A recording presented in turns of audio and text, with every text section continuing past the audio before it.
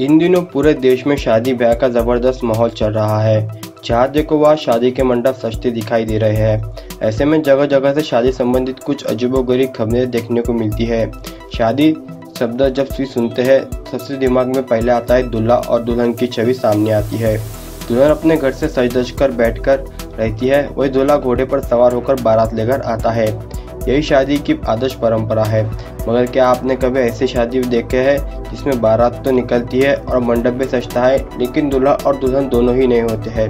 दूल्हा एवं दुल्हन के बिना शादी की कल्पना करना भी मुश्किल है। लेकिन राजस्थान के जोधपुर के बेलाव जियाभर में बीते गुरुवार को एक ऐसा ही अनोखा विवाह संपन्न हुआ। ये बात सुनने में अकेली हो, लेकिन ये सही है। दरअसल शादी इंसानों की नहीं, बल्कि पीपल के पेड़ की थी।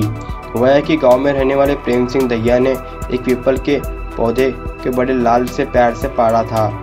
ऐसे में उन्होंने उसकी शादी करने का मन बनाया। इस विवाह का समारोह ठाकुर जी की बारात में आया।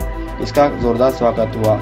इतना ही नहीं, इस पीपल की शादी में असली शादी की तरह सोना एवं चांदी के उपहार भी भेंट दिए गए। पी एम न्यूज़ ट्वेंटी की रिपोर्ट।